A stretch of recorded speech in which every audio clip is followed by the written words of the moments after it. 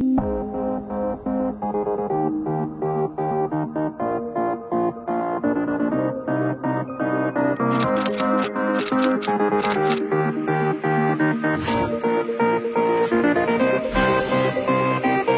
madlang people! This is Vice Ganda at meron akong magandang balitang hatid sa inyo today. This is what makes my life fantastic and can make your life fantastic as well.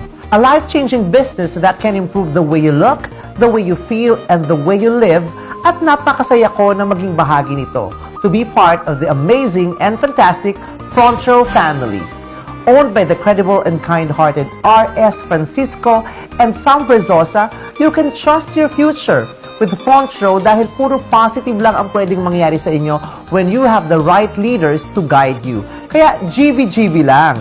And take note that Front Row was hailed as the best global company and holds the title of most trusted MLM company. Oh, saan pa? Talagang napapanahon din ang mga health and beauty supplements ng Front that promote a healthy, vibrant, and beautiful glow from within.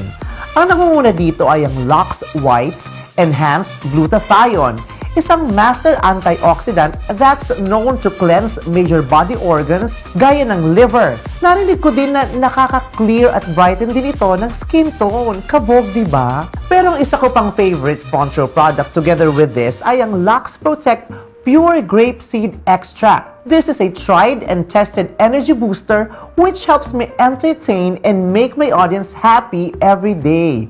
Bukod dito, meron din ang front row na Lux Slim Natural Slimming Supplement that converts stored fat into energy and Lux Renew 8 Berry Extract that gives our bodies the nutrients from hard-to-find super berries like blackberry, raspberry, and goji berry. Ayan. Pangalan pa lang alam na natin na hindi basta-basta mahanap sa Divisoria.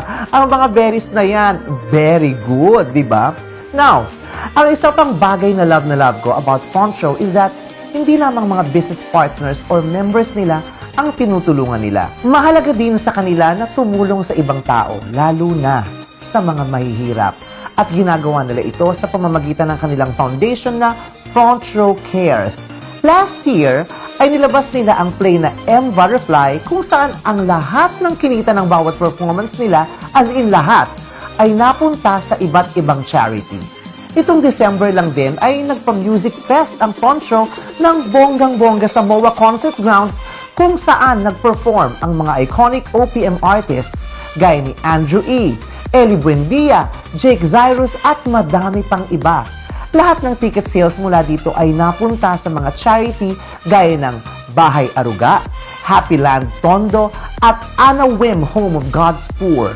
And I feel na madami pang matutulungan ng front show na iba which makes me very proud na maging part nito.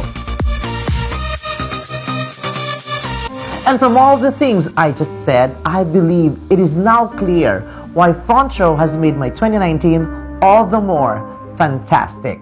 I thank all of you for listening and watching. Tandaan na wag na wag pakakabog and to always be your most phenomenal self with Front Show. Again, this is Vice Ganda and I love Front Show. Only at Front Row.